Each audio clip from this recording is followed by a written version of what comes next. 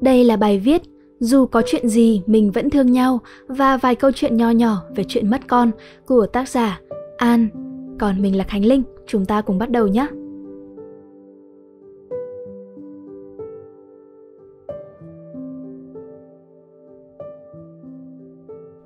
Khi vợ hay chồng bạn chết, bạn là người quá. Khi bố mẹ bạn chết, bạn trở thành mồ côi. Nhưng không có từ nào cho bạn khi con bạn chết. Anne G. Smolin quan sát. Phải buông tay con và không giữ được con bên mẹ là điều quá sức chịu đựng với mẹ. Hà vẫn âm thầm nói với Nam, con trai đã mất của chị. Nỗi đau này thực sự không thể và không bao giờ nguôi ngoai. Đây là đoạn trích từ bài viết đầu tiên về hành trình cận tử của tác giả Đặng Hoàng Giang đăng trên báo Tuổi Trẻ cách đây 4 năm trước. Thời điểm đọc về nó, tôi còn là sinh viên năm 2, chưa nếm trải mùi bệnh viện. Mọi cảm giác ùa về lúc ấy chỉ là cái chật lưỡi và cảm giác đau nhói trong tim không thể tả được khi nhân vật nam, cậu bé 8 tuổi mắc bệnh ung thư nói câu Mẹ ơi, con tạm biệt mẹ cũng như hành trình tìm kiếm bản thân và ý nghĩa mới của cuộc đời chị Hà, mẹ Nam. Tôi biết về cái chết lần đầu lúc 5 tuổi. Không phải bản thân trải qua điều đó, sau này qua lời mọi người trong nhà thuật lại, chính con bé 5 tuổi lúc ấy phát hiện biểu hiện bất thường của người thân đó và báo mọi người. Cảm giác ai đó nói, sắp chết rồi, với giọng hơi đứt quãng và gần dứt là thứ thi thoảng tôi vẫn ám ảnh đến giờ. Sau đó lên lớp 8 và giai đoạn chuyển cấp, tôi có dịp dự thêm vài đám tang người thân của bạn bè, họ hàng khác nhau. Thực sự cũng chưa thấm nhiều về nỗi đau của người khác, nhưng tôi học được bài học. Việc gọi cho người thân của người đã mất để an ủi những câu đại loại như mọi việc sẽ ổn thôi, mạnh mẽ lên, rồi người ấy sẽ phù hộ cho chị, cho bạn. Ở thời điểm sau tăng ra vài ngày là một điều không hề hay ho chút nào cả. Người dạy bài học này chính là bố tôi, người mất anh trai vào thời điểm rớt đại học và một người chị. Bố nói vậy. Con chưa mất người thân nào thực sự nên không đứng ở vị trí của chị ấy để nói ra câu này. Bố đã từng trải qua cảm giác này nên mới biết cách trò chuyện với chị. Chị họ tôi thời điểm ấy mất mẹ. Năm 4 lúc đi nhi tôi mới hiểu được điều đó. Vì khi trải qua cảm giác đau đớn tột cùng Con người không thể nói nên lời về nỗi đau của mình được. Không biết về sự sắp xếp ngẫu nhiên đáng yêu nào đó Lần nào tôi đi nhi cũng rơi vào trước Giáng sinh Và kéo dài đến hết Tết Tây. Ấn tượng của tôi với Nhi Đồng 2 là kiến trúc bệnh viện rất đẹp, do đây từng là nhà thương của Pháp, có hàng me xanh mát chạy dài khắp các khoa để sinh viên sống ảo và hai khu vui chơi đầy sắc màu. Bọn nhỏ thấy sinh viên mặc áo blues cầu vai xanh thì mặt đứa nào đứa nấy cũng lạ lẫm lắm. Có đứa thì thốt lên, bác sĩ, bác sĩ. Vào ngày đầu tiên tôi ở bệnh viện, có đứa thì chạy đến chơi với anh chị không ngại chút nào. Ở với tụi con nít, tôi mới thấy bọn nhóc này có một sự lạc quan mãnh liệt, mới bị trích thuốc, đâm kim truyền dịch đau thấu tận mây xanh, vậy mà một lúc sau vẫn cười toe tét. Có những đứa bệnh nặng quá phải theo dõi dài ngày, chuyển thuốc cả chục ngày chứ không ít. Vậy mà cỡ nào tụi nó cũng quậy cũng chơi tới bến. Với những đứa này, thứ cứu cánh và khiến chúng vui là iPad và smartphone. Bản thân người lớn đây còn phải công nhận sự vi diệu của ánh sáng xanh khiến mình luôn phải tỉnh giấc dù mắt mũi đã gần lim dim hết rồi. Đứa nhỏ nó còn vui, coi iPad còn thích thú là nó còn khỏe. Còn nó mà đến mấy thứ đó còn không thèm coi là mình khám biết là mệt với nó rồi đó. Bố tôi, người từng là bác sĩ Nhi, nói khi tôi thắc mắc về điều này. Quả đúng thật, ở nơi đây, những dãy nhà mới được xây dựng giường chen chúc. Bệnh Nhi nằm chung với cha mẹ họ hàng của nó, mình vô muốn ngộp thở mệt mỏi huống chi. Mùi cháo say lẫn mùi sữa và mùi ói chớ của đứa nhỏ khiến không khí càng ngột ngạt mệt mỏi hơn. Mọi bước đi lại thấy người nhà trải chiếu, lắp màn, bày đồ chơi trước cửa phòng nhằm tránh cái nóng và ngộp thở của nơi đây. Trước khi đi nhi, tôi đã quá ám ảnh với bầu không khí chen chúc này của bệnh viện ung bướu. Trên giường dưới gầm đều kín mít bệnh nhi và người nhà. Bởi vậy tôi nể cả hai lắm. Đặc biệt khi có đoàn từ thiện đến thăm càng khiến mấy nơi này ám đầy hơi người nóng nực nữa. Bởi vậy, có một bé khóa dưới từng nói mình đi nhi vui lắm, có con nít ẵm đồ chơi tinh thần khá hơn, mình chỉ cười cười hỏi lại, thế em có bao giờ thấy bệnh nhi chết chưa? Hay người nhà cố gắng bấu víu từng ngày cầu đứa nhóc đó tồn tại chưa? Thấy đứa nào sợ chết vì bạn bè cùng nằm chung phòng đi hết sạch chưa? Những cảnh tượng đó sẽ kéo bạn về với thực tại khắc nghiệt của sự bất lực và vô vọng, bám víu vào sống còn của đứa trẻ. Hiện thực phũ phàng khi đi thực tập tuần đầu tiên ở khoa thận kéo tôi cực gần với sự khắc nghiệt của cuộc sống. Khoa này lúc nào cũng đông vui, chật kín mít, nóng nực vì đâu đâu cũng thấy bệnh nhi và người lớn. Tùy bệnh, có những đứa bệnh điều trị tốt thì về sớm, có những đứa thận hư hết thì phải ở lại dài ngày. Bệnh càng nặng thì cuốn hồ sơ bệnh án dày như cuốn tiểu thuyết, nhóc nào mà cũng phính tay chân bụ bẫm do tác dụng phụ của chuyển thuốc. Trên tay lúc nào cũng có băng trắng và ống kim luồn để chuyển thuốc. Với một đứa trẻ, nhận được chẩn đoán bệnh lupus hay các bệnh thận nặng khác là một án tử treo với nó rồi. Bạn tưởng tượng một ngày đẹp trời thấy mặt và mi mắt sưng tu vù, tiểu không nhiều và màu sắc nước tiểu có gì kỳ kỳ, là đến lúc vào viện rồi đó. Chẩn đoán rồi sinh thiết ra kết quả xấu thì xác định thành khách trọ quen thuộc của bệnh viện luôn. Tưởng tượng đi, một đứa trẻ ở độ tuổi ham chơi, thích đi học, một ngày nào đó vì bệnh phải nghỉ học hết tất cả, rời xa thầy cô bạn bè thân thiết để ngày ngày sáng bước ra cho bác sĩ khám, rồi truyền thuốc chờ vào làm thủ thuật, suốt ngày quẩn quanh trong bệnh viện với câu trả lời không có hồi đáp. Rồi khi nào về nhà chơi, nó kiệt quệ thế nào? Hôm thứ năm, không phải tua trực nhưng tôi cũng đi ké vừa kiếm bệnh án làm nộp, nhận bệnh mới theo chỉ tiêu và cũng muốn qua cái cảm giác đi trực đêm ở viện nhi thế nào. Mọi thứ tưởng chừng xong, chuẩn bị về thì nghe tiếng khóc gào lên như tiếng cười lớn vọng ra từ ngoài cửa phòng bệnh nặng. Quay lại thì thấy bé gái 8 tuổi đang gào thét vì đau khi đặt thông tiểu. Chưa kịp chạy ra xem hồ sơ của bệnh nhân khác thì điều dưỡng kéo tôi giữ thẳng người cho bé ấy để thở oxy. Cô bé bị bệnh thận lupus, thận đã hư hết rồi. Giữ người cho bé và động viên, dáng lên con. Nói người nhà cầm điện thoại cho bé xem Doraemon, tôi kỳ vọng rằng qua cơn khó thở này, mọi thứ sẽ bình thường trở lại. Cho đến khi con bé không thể nhìn nổi vào màn hình nữa, liên tục nói Con mệt, con mệt. Bất kể mình có động viên thì băng ca được chuẩn bị để đưa vào phòng hồi sức. 10 giờ đêm, một tay đẩy băng ca, một tay ra hiệu, Tôi chạy thật nhanh, kêu những bệnh nhân khác trên đường dọn lối càng gọn càng tốt để đẩy thật nhanh cô bé vào phòng hồi sức. Nằm trên giường thở mệt, trên tay cô bé vẫn cầm con búp bê bố mới mua cho. Tôi nhẹ nhàng rút con búp bê ra, ekip bảo rằng hết mệt rồi sẽ được chơi nha con. Đứa bé gồng lên, dãy người liên hồi. Tôi được kêu ra ngoài, bần thần lúc lâu thì thấy nhớ lại cảnh tượng ekip đặt nội khí quản nhưng máu chảy ra. Người nhà bệnh nhân thực tâm không muốn hợp tác với bác sĩ, nhưng tôi đi ra họ lại cảm ơn díu dít. Chị bác sĩ lúc nãy ngồi thở dài vì nghĩ rằng sớm muộn gì em cũng đi. Tôi cũng không biết phải lúc nãy mình cười với người nhà vì điều gì. Họ có đứng vững khi nghe tin lỡ chừng con mình không qua khỏi không? Kết khoa thận, tôi không dám quay lại để hỏi số phận của bé gái mình đưa đi đêm đó ra sao. Tôi sợ. Sợ vì nhớ lại lúc người cha gật đầu cảm ơn khi mình trả lời về con gái họ. Kể cả khi họ đã không còn ngồi đó, nhưng tôi vẫn sợ sợ khi tưởng tượng cả gia đình khóc thảm thiết và tuyệt vọng ra sao khi con họ mất.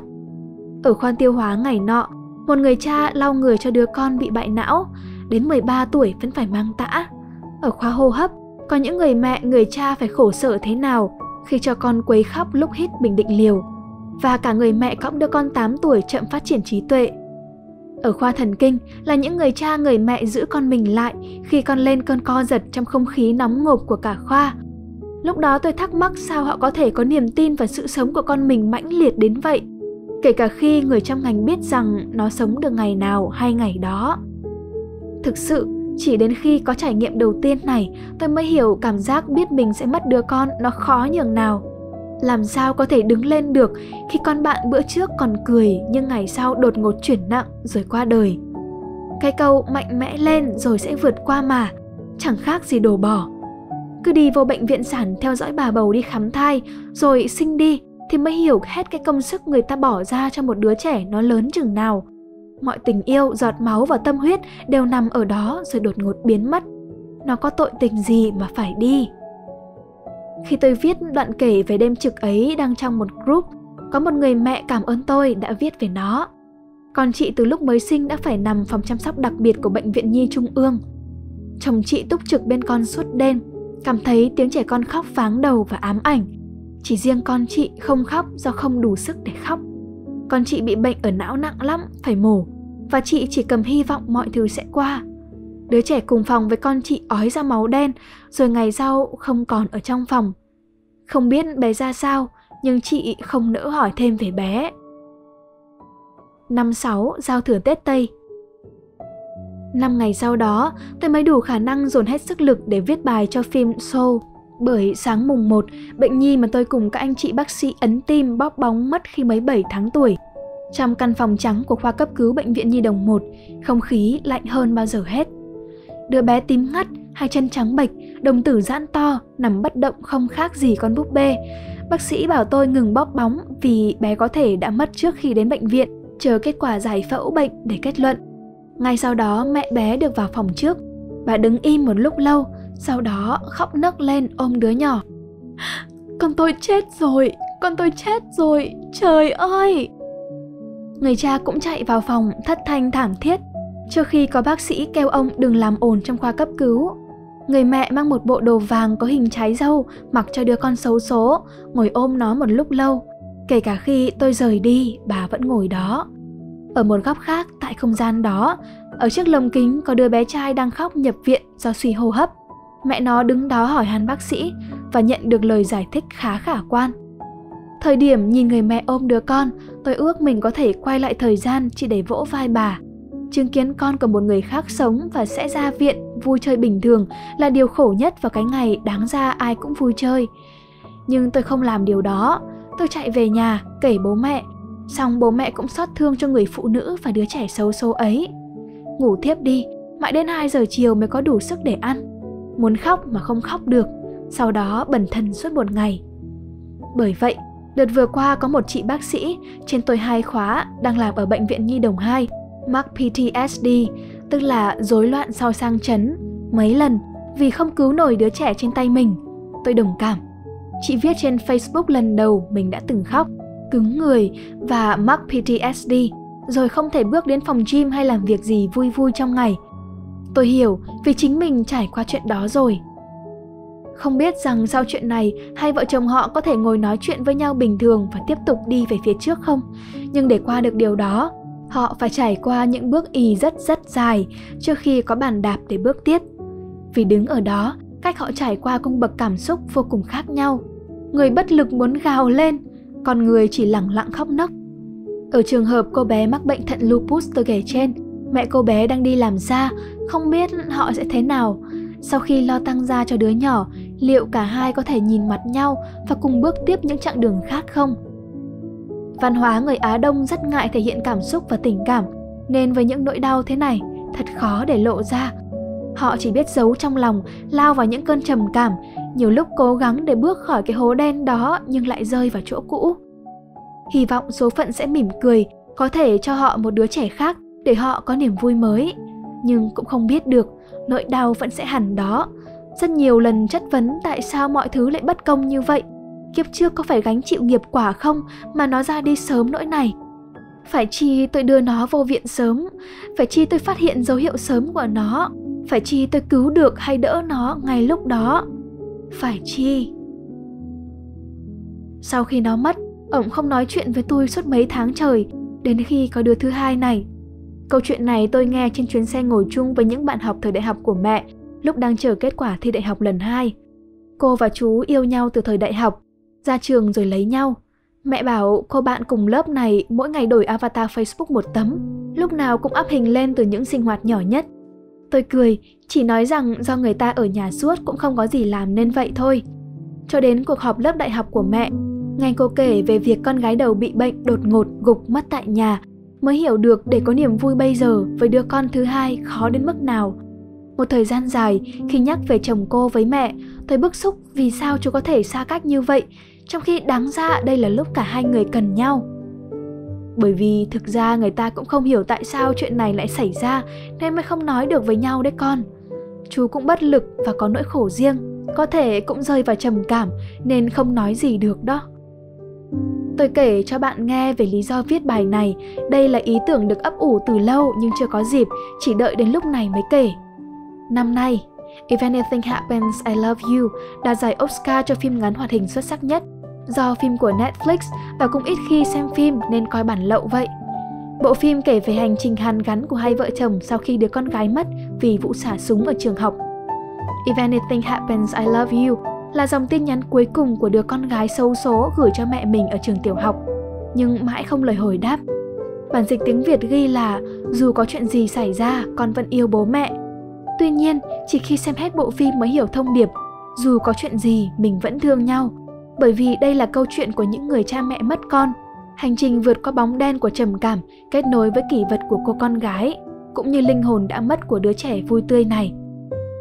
Lần đầu khi xem phim, mãi đến cảnh tiếng súng nổ ra, tôi mới rưng rưng nước mắt.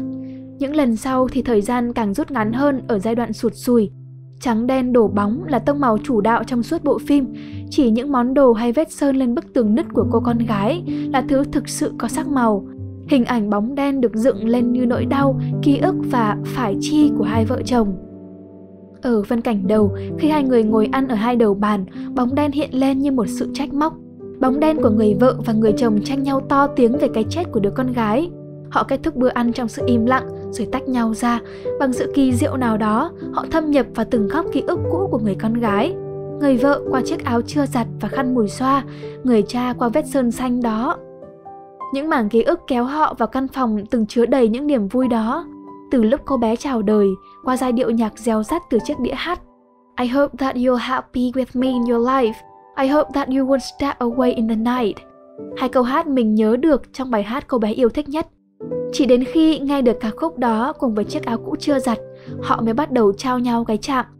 Lần đầu tiên sau bao năm cùng nỗi đau không nói nên lời đó, họ mới có thể nhìn nhau và trao nhau một cái mỉm cười. Phim quay lại với những khoảnh khắc cũ trước khi cái ngày định mệnh nó đến. Đó là những phút giây họ tận hưởng sự hạnh phúc của việc lén nhìn nụ hôn đầu tiên của hai đứa trẻ con.